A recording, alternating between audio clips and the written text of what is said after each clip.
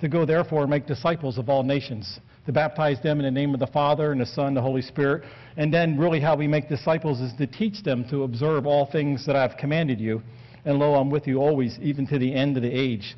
And so making disciples is really teaching us how to observe the commands that Christ gave his first disciples. Again, I've been a Christian for a little bit over 35 years. I've been in the Marine Corps for 25 years.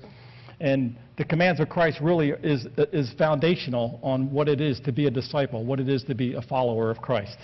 And so Jesus said, If you love me, and I'm sure we do love the Lord, all of us love the Lord, he says, Well, then the way that we demonstrate that is we obey him. And so it's really hard to obey Christ's commands if we really don't understand what they mean. Most of the commands of the 49 commands, we'll see that we sometimes we know a little bit about them. Sometimes we know things we thought we knew we were wrong, and sometimes we don't. We were completely wrong. We didn't understand them at all. But our intent really on Wednesday nights is to really uh, to see Jesus for who he is and what he wants us to do and how we obey him, because that's really how we demonstrate our love for him is to obey him. And t- our command tonight is going to be deny yourself. The corresponding character quality of deny yourself is determination. Now, all the character qualities of Christ, as you can see on the right hand side, these character qualities are really qualities that we cannot instill in ourselves. Matter of fact, in Hebrews 1 3, it says that Jesus is the express image of God. And that word image in the Greek means is the word character, which is the word character. So Jesus is actually the exact character of God. And so when we read about Jesus and we uh, read the Gospels about Jesus and everything we see about Jesus in his life, he walked, we're, we're literally seeing God. We're seeing the character of God, who God is. And that's pretty amazing to do that. And so each of these character qualities come as a result of obeying these commands. Again, we can't instill these qualities in us.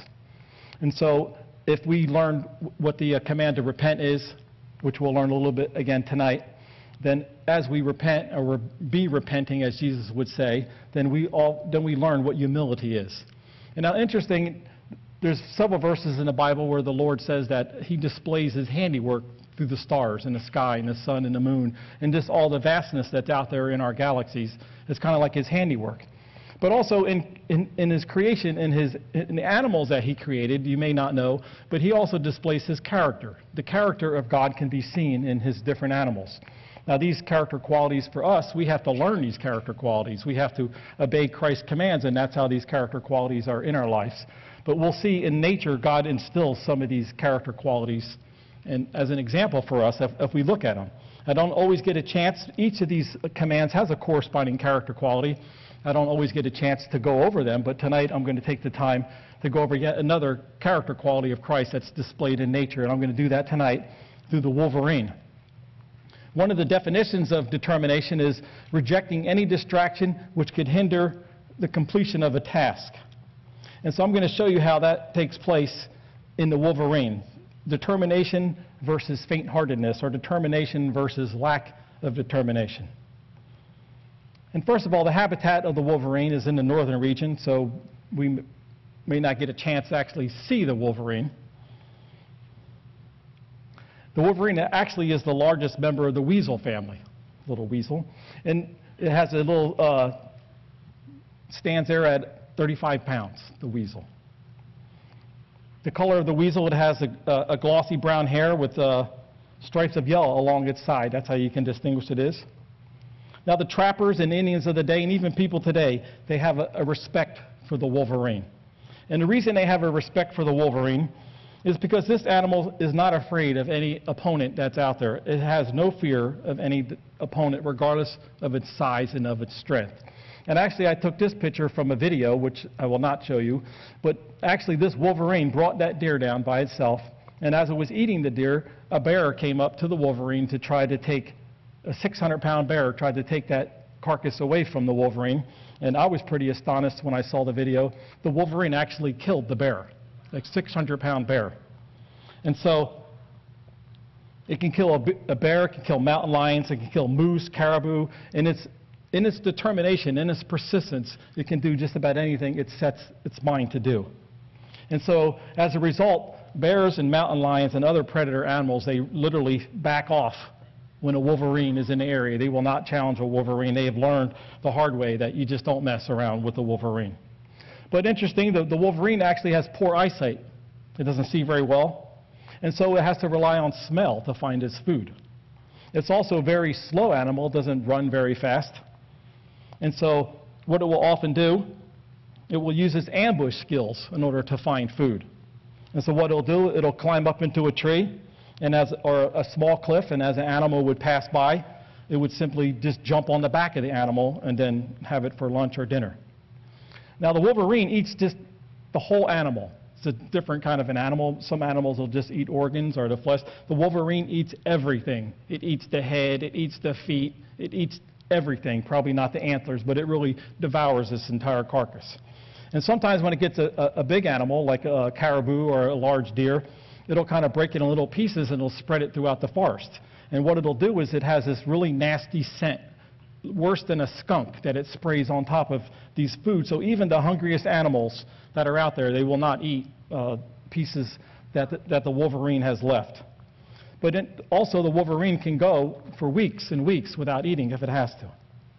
The wolverine also has no problem in the snow or traveling in the snow or living in the snow. It doesn't hibernate at all. Matter of fact, one of the things about the wolverine that is interesting is that uh, its fur doesn't collect any type of frost or snow whatsoever. It doesn't stick to it. So you can see how the Eskimos are, they like that to make coats, and inside of their coats, the frost or snow doesn't stick. And again, this is kind of a strange animal. It doesn't really, in snow, it doesn't run through snow because in deep snow, it would be what we call post holing, as paws would go in up up to its uh, shoulders and it would, wouldn't be able to get around very quickly.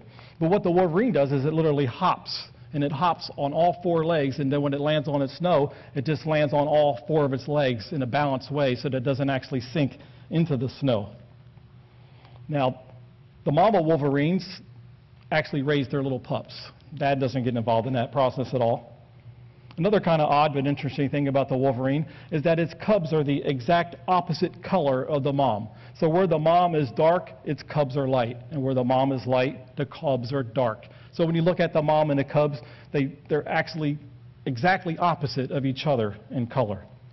Now these wolverines are also, they're very playful animals. And some of them have even learned to be friends with humans. As vicious as they can be, humans have bold enough to befriend some of these animals, as you can see here. And because of their unique sense of smell and their amazing capacity to dig, they've also been experimenting with wolverines to find humans that are caught in avalanches because they have a great sense of smell. They can find humans. Uh, I've seen some videos of them actually testing, finding uh, humans and digging them out very quickly. The legends have it, and there's a lot of legends about the Wolverines. I guess there's an X-Men movie there about the Wolverine, X, X-Men Wolverine. But there's legends that say the Wolverine will actually go and take food out of traps, any traps. And then it doesn't leave the trap there. It actually dismantles the trap and hides the trap. Again, that's maybe a legend, but uh, some people swear by it. But one thing you have to remember about the wolverine is that when it sets its mind on something, it's not a creature that you want to you want to mess around with. It's distinguished from all other animals because of its unique sense of determination. And so you're going to see in this command that we're going to look at tonight is that this type of determination that the Wolverine has as a natural character quality is really the type of determination that we have to have in order to obey this command tonight, which is to deny yourself. And so the command that we're going to see tonight, deny yourself, has some repeat information from repent and follow me. And as I was looking through this, I was thinking, well, I, I don't want to give you repeat information. That, that would be, could be boring at some points. But then I, as I started reading that, Jesus repeated this, some of this information over and over and over again to his first disciples. And so since he did it, immediately I said, well, then we're going to do it too. Because if it's good for Jesus, it's good for me. Now, this command really is another invitation. Jesus gave many inv- invitations. Matter of fact, Jesus came to seek and save that was lost. And so, in the commands that we went through so far, repent, follow me, be reconciled, be perfect, seek God's kingdom, choose the narrow way, take my yoke. These are all commands that are really invitations to, again, invitation not as a suggestion of what we should do. When Jesus came into the world, he didn't suggest what we should do as his creation. He demanded, he commanded that these are the things that we need to do to inherit eternal life. And so Jesus came to seek and save the lost, and when he found the lost, He gave him what we call the gospel message, the good news message. And Jesus repeated this message that we're going to see tonight over and over again because it really is the heart of the gospel message. And in other words, if you want to go to heaven, this is how you get to heaven. And so, because this command is very difficult to obey, we'll see that few people in the world will actually obey this command. And so, although there will be some repeat information, I'm really going to focus on what it means to deny yourself, especially when we get to the application of this command. So before we get into God's word, let's pray.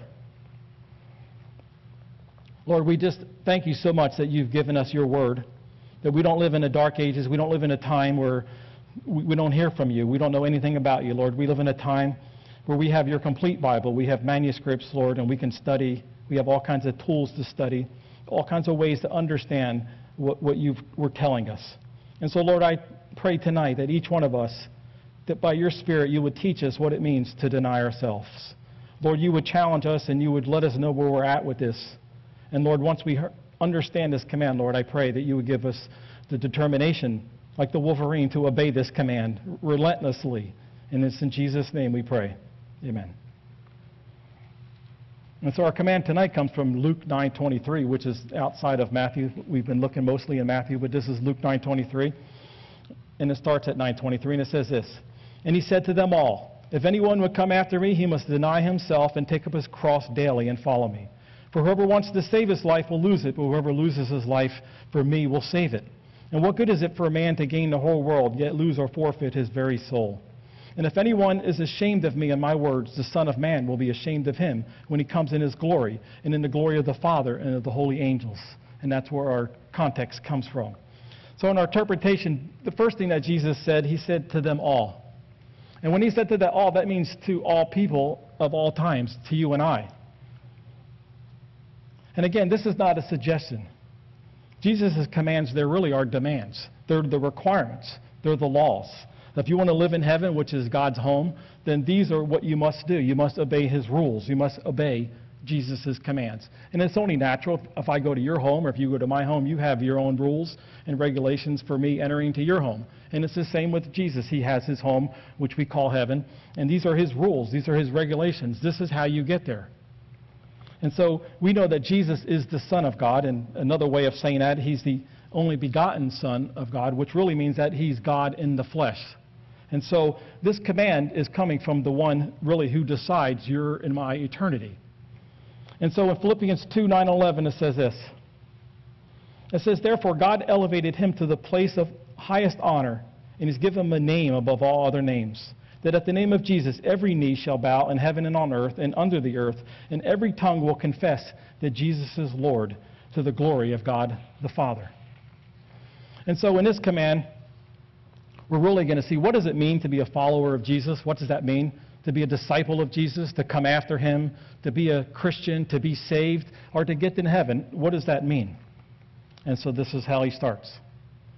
He says, If anyone would come after me, he must first deny himself and take up his cross and follow me. Now, again, this command is repeated in all four of the Gospels. And I imagine that Jesus repeated this numerous times. It wasn't even recorded anywhere. Because this really is the heart of the gospel message. This is how a person gets saved from hell. This is how we as disciples are supposed to live. In the command, follow me, we saw that there was a three part test in that command, our second command that we had. And in the three part test, Jesus basically laid out there was large crowds, it says in Luke 14 25, large crowds were traveling with Jesus, and he turned around and he said to them, so you can picture that there's large crowds following Jesus, mostly because of the miracles that he did and the food that he did, that he gave them. And Jesus basically turned around and he gave them a three part test. He says, If you pass this test, you will be with me in heaven. But if you don't pass this test, then you will not be with me in heaven. Don't be deceived. I am Jesus, I'm the creator of heaven and earth, and these are my requirements. And so these are the tests that he gave them. He said, If anyone comes after me and he does not hate his father and his mother, his wife and his children, his brothers and sisters, yes, even his own life, he cannot be my disciples. So that term, hate your own life, is given in this command, and it's the same thing that we see tonight. Deny yourself really means to hate yourself. It's the same thing, they're synonymous. In the second part of that test, because it says end, it's not or, it's end. He says, end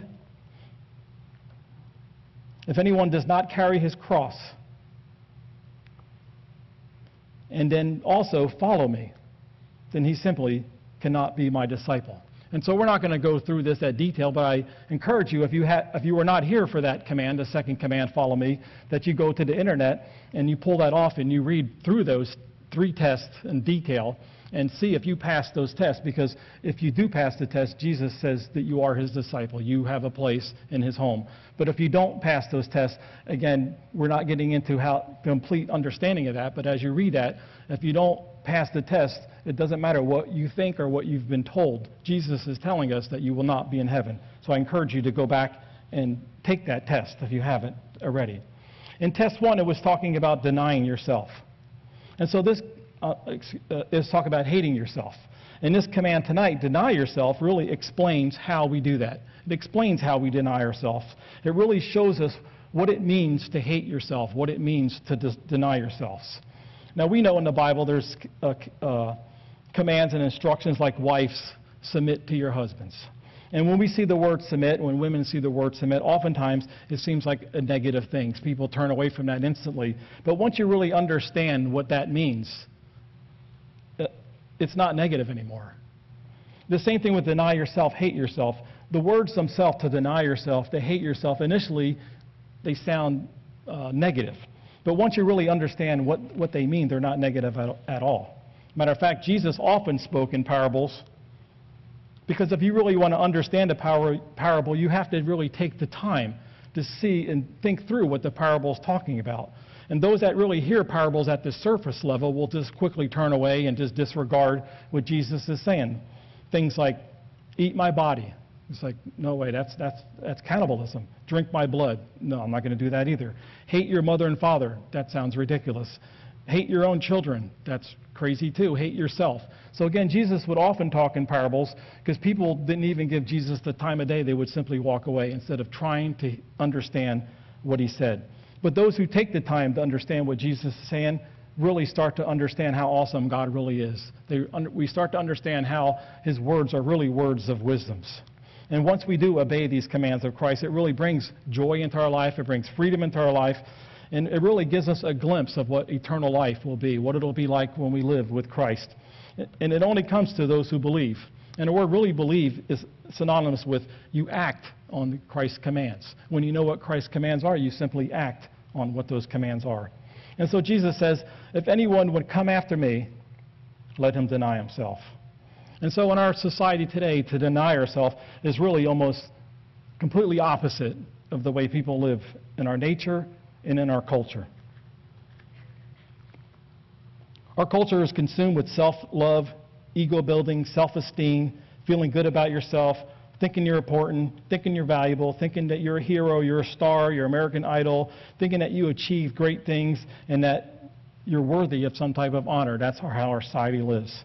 Matter of fact, parents are encouraged to uh, increase their children's self ego, their self image, and even allow their children to explore their own individuality in this world that we live in. That if it feels good, it, do it. And this, this young man's t shirt says, Nothing is wrong if it feels good. And so, really, our whole society is built around eat, drink, and be merry, for today we live and tomorrow we die. That's the heart of our culture that we live in today. Paul would tell Timothy this. He said, Timothy, you should know this, that in the last days there will be difficult times, for people will love only themselves and their money. They will be boastful and proud. They will be scoffing at God, disobedient to their parents, and ungrateful. They will consider nothing sacred. They will be unloving and unforgiving, and they will slander others, and they will have no self control. They will be cruel, and they will hate what is good. They will betray their friends. They'll be reckless. They'll be puffed up with pride. They'll love pleasures rather than God, and they will act religious, but they will reject the power that can make them godly. Stay away from people like that, Paul would tell Timothy. So here's the challenge that we have. When Jesus gives us this deny yourself gospel message, if you would ask people, do you believe in God? Most people would probably say yes. Do you want your sins forgiven? Of course, we would want our sins forgiven. Do you want to go to heaven? Yes, I would like to go to heaven. Well, then deny yourself Take up your cross and follow Jesus. And when people hear that, it's like, wait a minute, deny myself? I just want the free gift. I don't want to have to do anything. And so, Martin Luther, as you may know, he was a Catholic priest. And at the time, people were not allowed to read the Bible because they were told that they couldn't comprehend what the Bible said. So the Bible was really interpreted to them. And so what Martin Luther did, he got a hold of the Bible and he read it himself. And once he read the Bible himself, he found many things, but he actually posted 95 different protests of what the Catholic Church was telling him, according differently what the Bible was telling him, and he nailed it really on their main church, which was in Witten, Wittenberg, Germany. The fourth protest that he has on the list says this. He said, "So repentance remains, why self-hate remains." And so what Luther was saying is the concept of Jesus' command tonight to self-hate yourself, to deny yourself, that will keep a person being repentant. But if you don't have self-hate, if you don't understand what that means, then you will not be a repentant type person. And so here's the problem. Jeremiah would tell us, 17:9, that the human heart, your heart and mine, is the most deceitful of, of all things. It is desperately wicked, and who really knows how bad it is? I like what Pastor Chuck used to say. He would say, You don't have to deep dig in my heart to find dirt, it's right there below the surface. And so Paul actually compares his life in Philippians 3:8. He says his life is like garbage. It's actually like dung compared to the new life that he has in Christ. And see, our culture today of self love, they certainly do not view their lives as garbage, as rubbish, as dung. Job says in Job 42:5, he says, Now my eyes have, I have seen you, Lord, and because I've seen you, I detest myself. I despise myself. I hate myself. I reject myself, and I, and I will repent in dust and ashes. And in the Hebrew language, what Job was saying there when he just tests his life, he was saying, Everything that I am apart from God, everything that I am as a result of this sinful nature that I have is corrupt and evil, and I hate that part of who I am. Paul would say in Romans 7:18 he goes for I know that there's nothing good that lives in me that is in my sinful nature. And but today people brag of themselves how good they are, how many things they have accomplished, how desirable they are, and the list just goes on and on of how much people love themselves today. Isaiah would say this in Isaiah 6:5. When Isaiah saw a vision of the Lord, this is what he said. He said, It's all over. He goes, I'm doomed now. I'm a sinful man. I have filthy lips, and I live amongst people with filthy lips, yet I have seen the Lord. I have seen the God of heaven's armies. And all people in the Bible that understand that in comparison to God's holiness, to his righteousness, to his goodness, that our sinful natures we, do not merit any type of recognition. And see, this is the problem. We see that white sheep against a green background, they look fairly white. However, the same white sheep against a snow white background, they don't look white at all. And see, what happens in our eyes, we appear that we're pretty good. But see, God sees differently than what we see, and we need to see ourselves as God sees ourselves. And so this is why the Lord would tell us in Isaiah 118. I love it when he says this. He says, Come now, let's settle this. And if you read 1 8, the whole chapter of 1, what he's talking about to you and I, it's like, you know that you're wicked. I know that you're wicked. You know that you're sinful. So let's just, let's settle this. Let's just get this over with once and for all, says the Lord. Though your sins are as scarlet, I will make them as white as snow. And that's awesome that God would do that for us. When Simon Peter realized who Jesus was when he was in the boat, Jesus told him to throw the net out to the right side, and they got so much fish. And at that time, it started to, the, the lights came on in Peter's mind, and he realized who Jesus was. This is what he said. In Luke 5:8, he said he fell to his knees before Jesus and he said, "Oh Lord, please leave me alone because I'm too much of a sinner to be around you."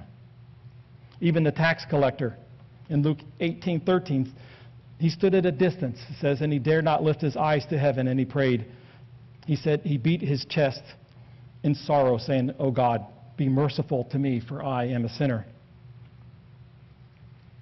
And see, when we really understand who we are in God's eyes, it will cause us to repent. And we'll get into what repent means in a second.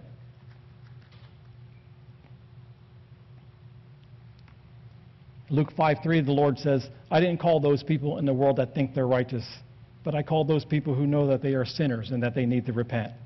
And see, what happens is pride causes people to be blind. People love themselves, they're impressed with their own lives, they're impressed with their own money, their success, their religion, and most people already think that they're righteous in God's eyes.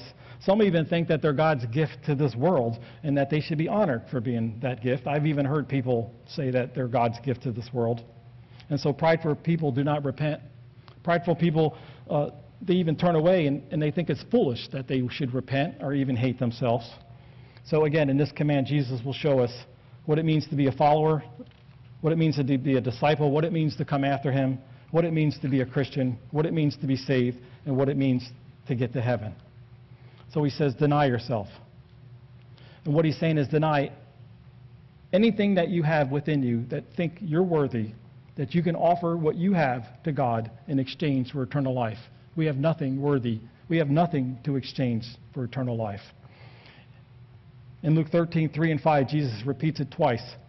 He says, I tell you, unless you repent, you too will all perish. Luke 24, 47, it says, For it was also written that this message of repentance would be proclaimed in the authority of his name to all nations, beginning in Jerusalem, that there is forgiveness of sins for all who repent. And so there's actually three Greek words that mean repent, and this is in your outline if you have your outline. The first word for repent, and I'm not going to try to pronounce these Greek words because I know I get them wrong. So I put them in your outline.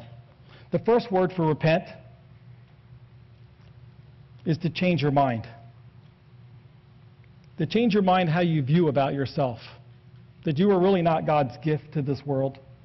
You understand that your heart is desperately wicked. And if you're honest with yourself, we know that. The lust of the eyes, we have it the lust of the flesh, we have it.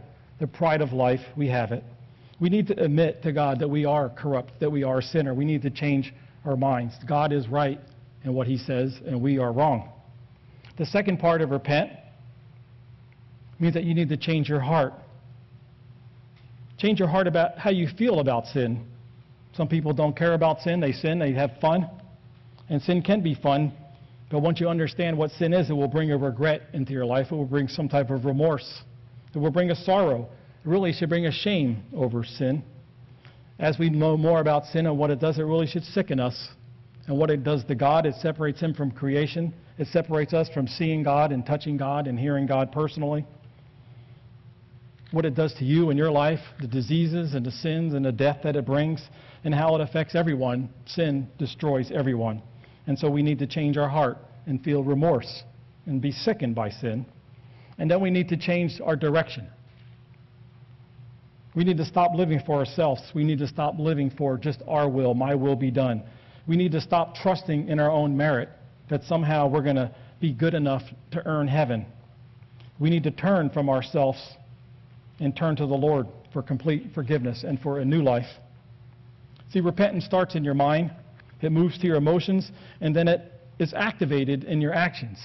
And this is the actions that Paul would tell us that we need to do.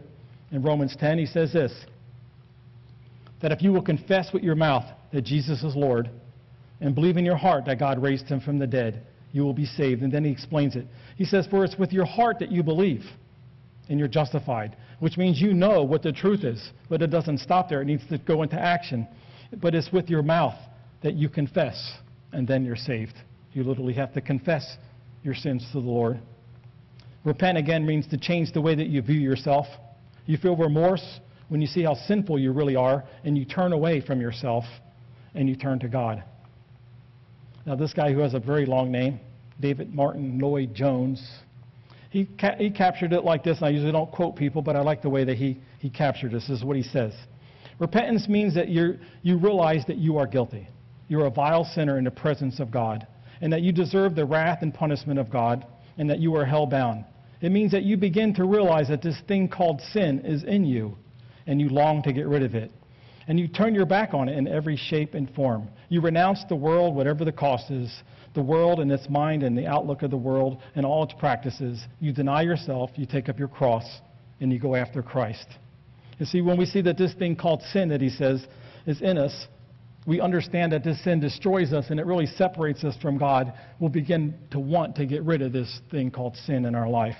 But there's only one way to get rid of sin in your life, in my life, and that's to die. A dead person cannot sin. You stop sinning when you die. And so Jesus will tell you to take up your cross. And what this means is to be willing to die, to sin. And so here's an example of what that may mean there was a plantation slave that he was always happy and he was singing. No matter what happened to him, his joy was always abounding. He was singing it. And one day his master, he asked him, he said, What have you got that make you so happy? And the slave replied, he goes, I love the Lord Jesus with all my heart. And he has forgiven me my sin and he has put a song in my heart. He goes, well, well, how do I get what you have? This master asked. He says, well, go now and put on your best Sunday vest and come down here and work with us in the mud, and then you can have it, came the reply. And he said, I would never do that, the owner responded resentfully, and he rode off on his horse. Well, some weeks later, the master asked the same question, and he was given the same answer. And then a few weeks later, he came a third time, and he said, Now be straight with me. What do I have to do to get what you have? He said, Just as I've told you all the other times, came the answer. So in desperation, the owner said, All right, I'll do it. And so then a slave responded, Now you don't have to do it. You just had to be willing to do it. And so Jesus doesn't literally call us to die, but he calls us to be willing to die for ourselves. Jesus told the Pharisees the same thing. But their self love and their self righteous attitude was useless, he told them. But instead of listening to Jesus, they hated Jesus. And he says in Matthew 21 31, he goes, I tell you the truth, corrupt tax collectors and prostitutes will get into the kingdom of God before you do. And then Jesus gives this what's called a paradox. A paradox is a thought, contains two thoughts that seem like they contradict each other, but for some reason they're both true. An example is you tell somebody that your, your deep thoughts are shallow. Well, how can deep thoughts be shallow? And so what Jesus says here, this paradox, he says, whoever wants to save his life will lose it. And whoever wants to lose his life will find it, will save it. And so the paradox is do you want eternal life? Do you want to live? And if your answer is yes, he says, then you must die. That's the paradox. And so once again, Jesus only gives us two choices, like he always does. In this case, he choose life, live or die. We see before that he gives us two gates, the narrow and the wide, two ways, the narrow and the broad, two destinations, heaven or the lake of fire, two groups, the few and the many, two kinds of trees, the good and the bad, two kinds of fruit, the good and the bad, two kinds of people, believers and non believers, two kinds of builders, the wise and the foolish, two foundations, rock and the sand, two houses, the secure and the non secure. And now he's telling us to give up our lives. And when we give up our lives, he says we'll be saved from eternal damnation and we'll have heaven. But if we hold on to our lives, we will lose our lives to an eternal damnation, which is hell. And so Jesus repeats this several, several times in the Gospels. For example, in Matthew 10 39, he says this If you cling to your life, you will lose it. But if you give it up, your life for me, you will find it. And then in John 12 25, he says, The man who loves his life will lose it, while the man who hates his life in this world will keep it for eternal life.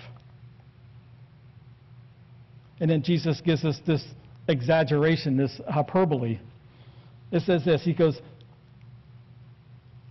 what good is it for a man to gain the whole world and yet lose or forfeit his very soul?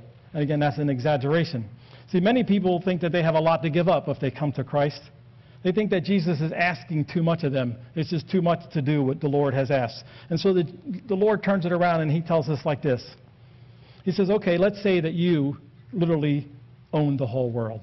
You were the richest man in the world. You were the smartest. You were the most powerful man. You had all the honor. You really had it all. You had everything that the world hopes to have. And so now that you have it all, what good is it if you die and you lose your soul in hell forever? Matthew would say it like this He says, What shall a man give in exchange for his soul? How much really is your soul worth? We know our physical bodies will die one day as a result of sin, but the Bible tells us everywhere that our souls will live forever somewhere. And so Jesus is saying this again, it's amazing. He says, recognize that there's no good in you. And so as a result, give me your life. At this time, I will pay the price, but for us today, he goes, I've paid the price for your sin.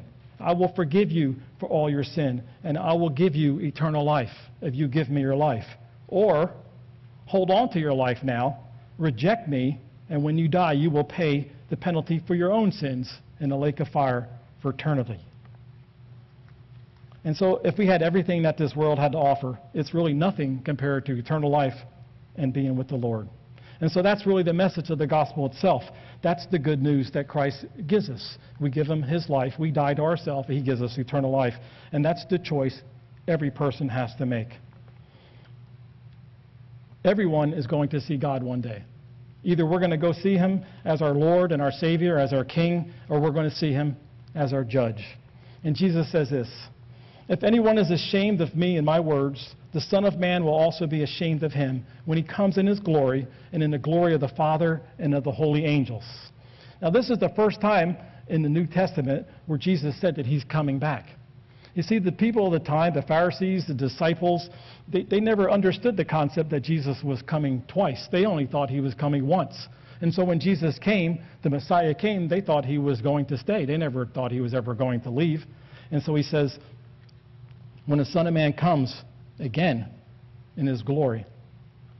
So he says, if anyone is ashamed of me and my words, this really means that if you reject Jesus, if you refuse to repent, then it's the same thing as being ashamed of Jesus.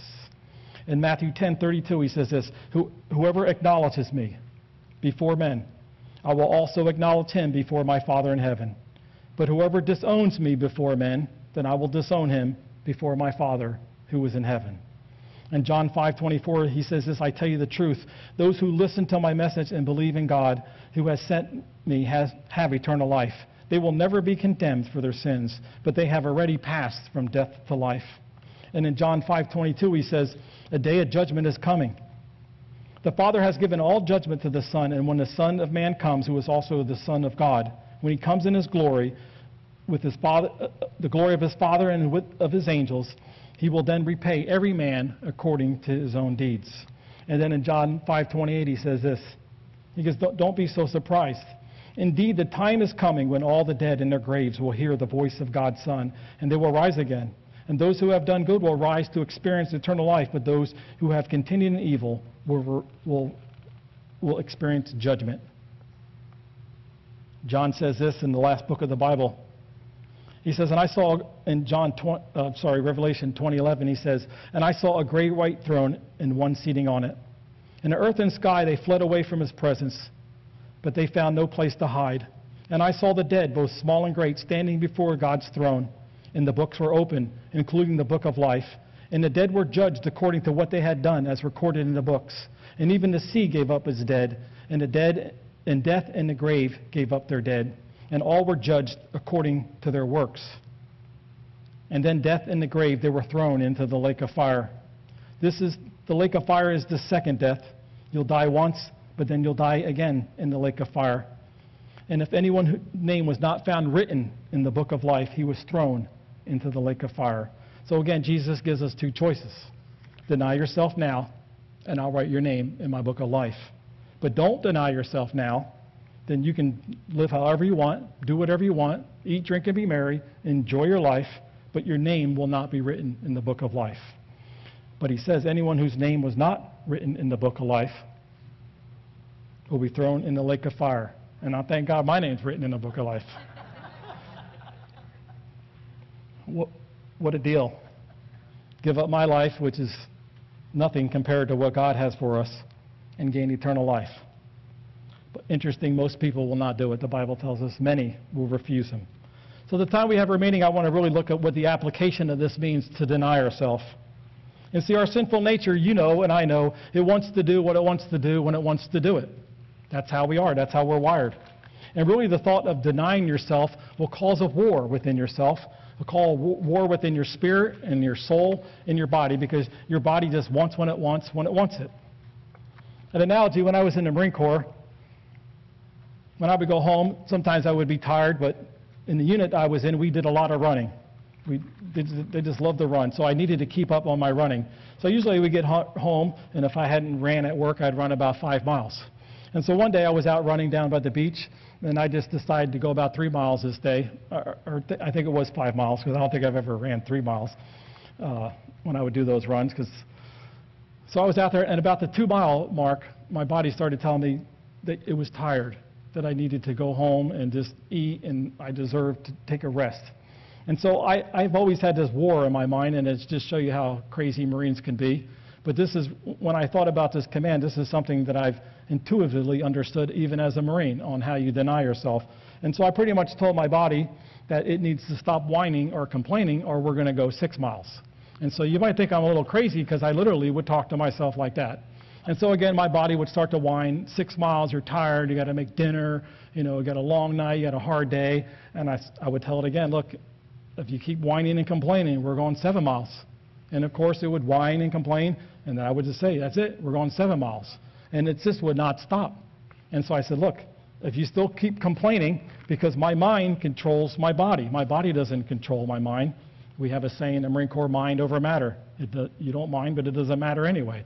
And so I would say, if you keep whining and complaining, not only we're going to go seven miles, but when we go home, I'm not even going to eat.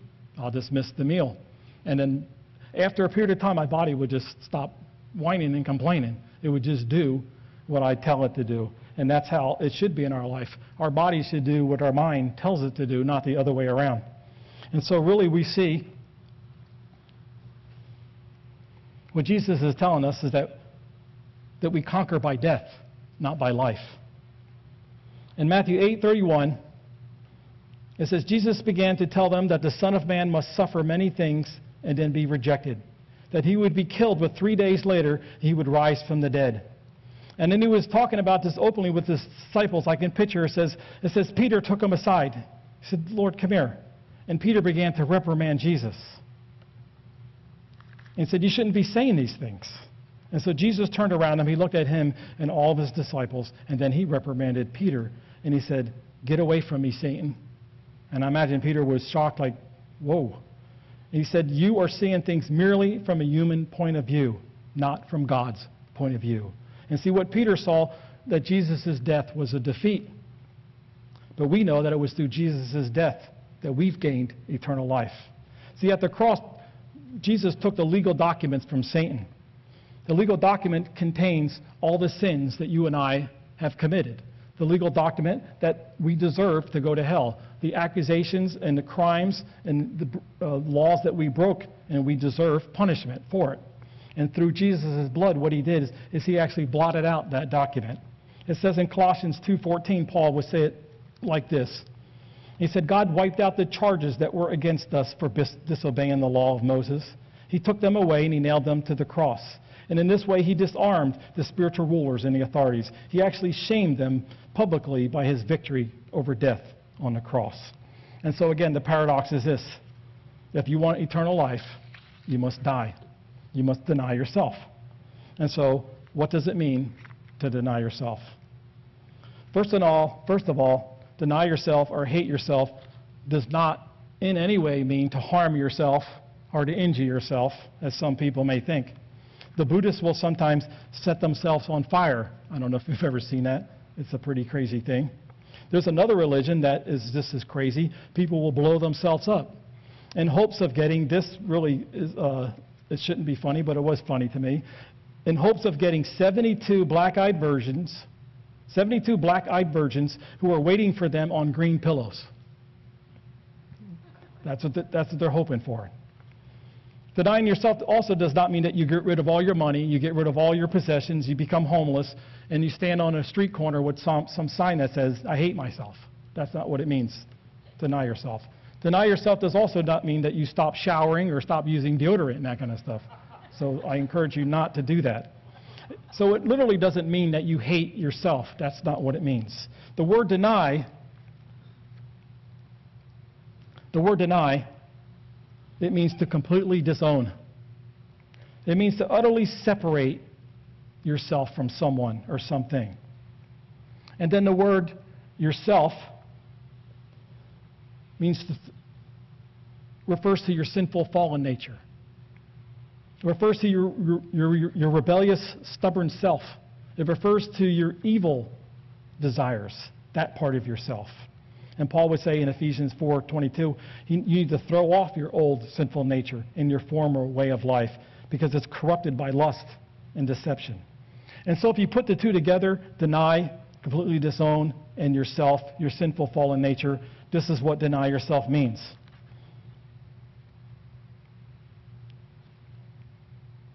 It first means put no confidence whatsoever in yourself.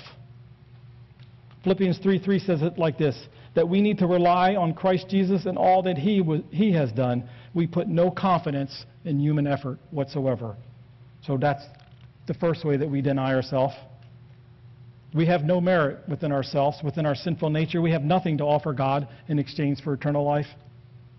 The second way we deny ourselves is to disown and really refuse to associate with yourself, with your sinful nature. Just refuse to associate it with it.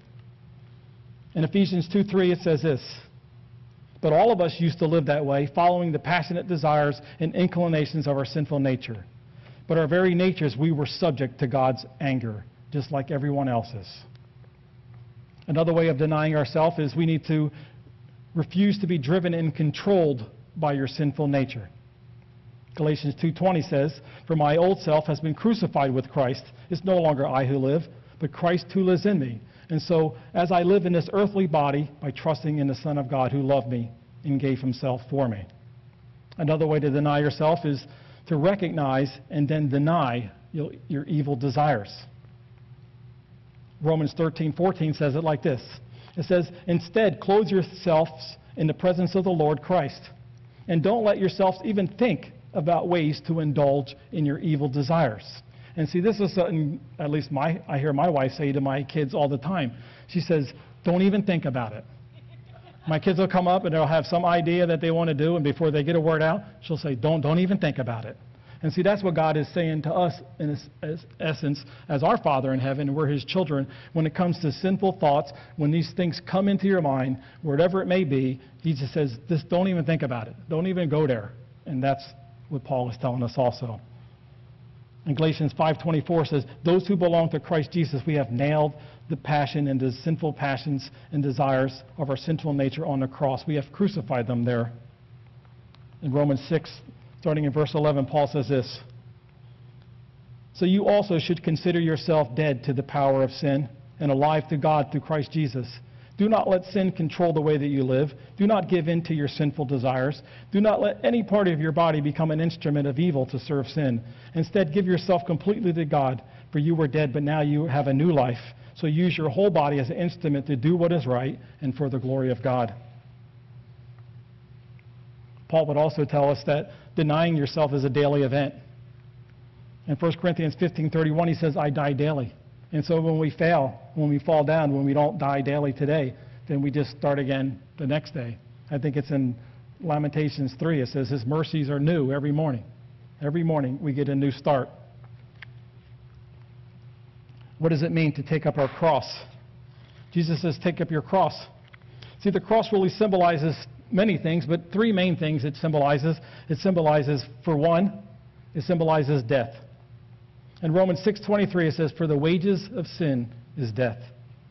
The wages are what we get, what we earn, what we deserve for sin. In John 19:30 it says this that Jesus said, "It is finished." And with that he bowed his head and he gave up his spirit.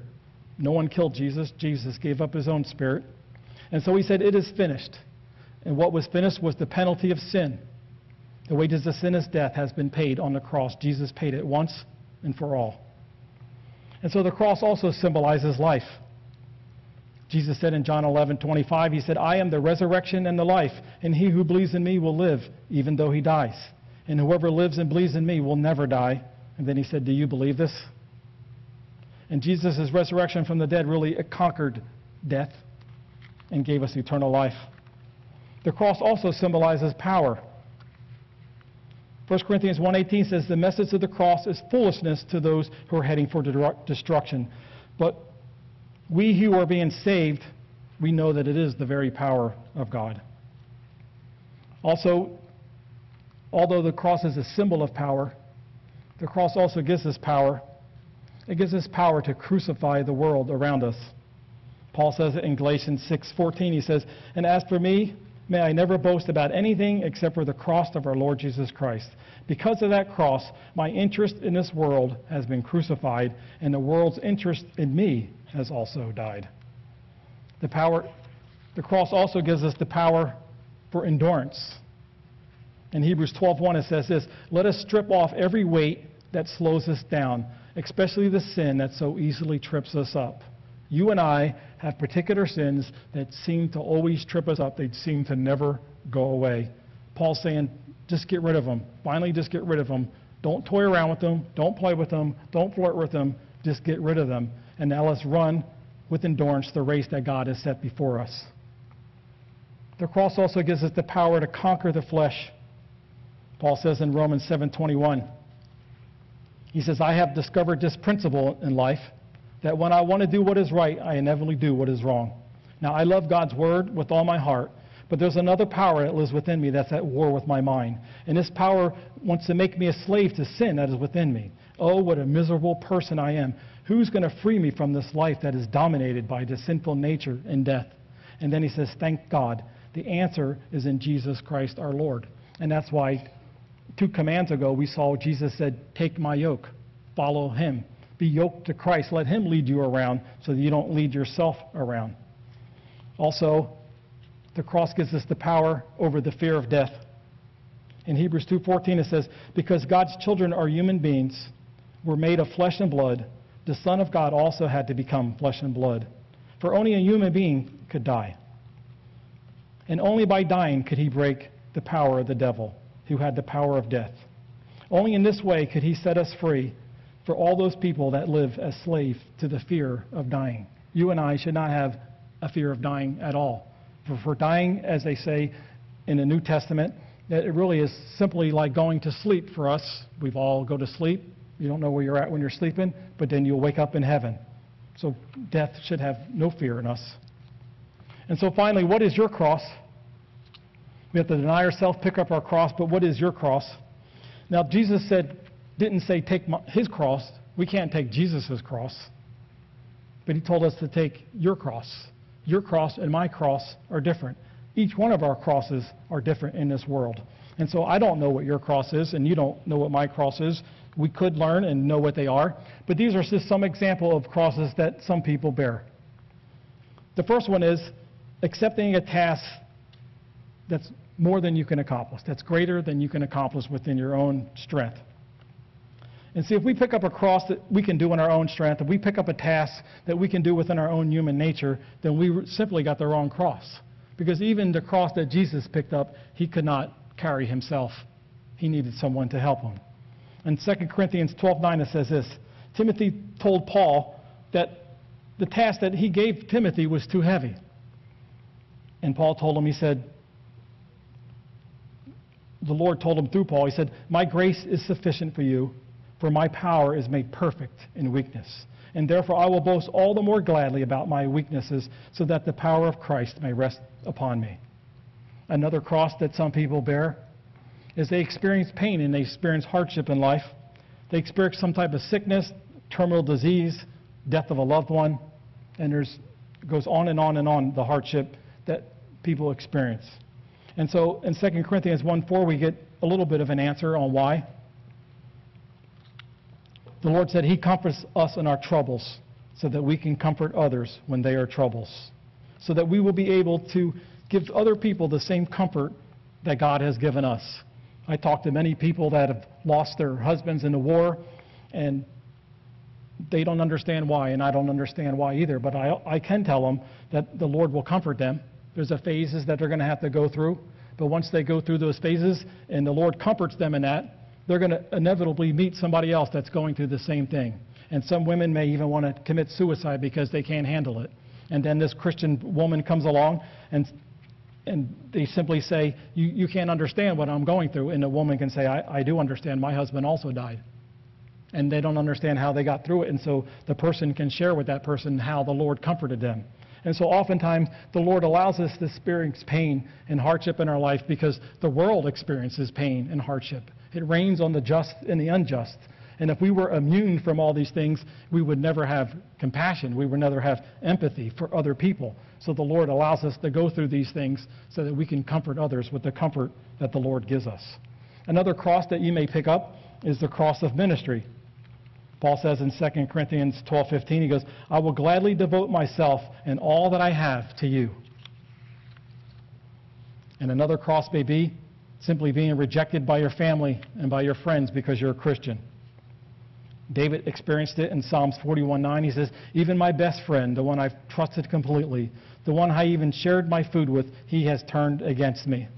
There's a song you may have heard that originated in India. It's called I Have Decided to Follow Jesus. And a writer of that song, actually in India, when you decide to follow Jesus, you are excommunicated from your family. You don't get to live with your wife anymore. You lose your wife. You lose your children. You lose your money. You lose your job. You lose your citizenship. You lose everything. And so he wrote this song I have decided to follow Jesus, no turning back. He was rejected by his family and friends, and that was a cross he had to bear. And so, what Jesus is saying in this command, he goes, Do you want Jesus? Do you want eternal life? And so Jesus commands us. It's not a suggestion. And it's to all of us, to all people of all times.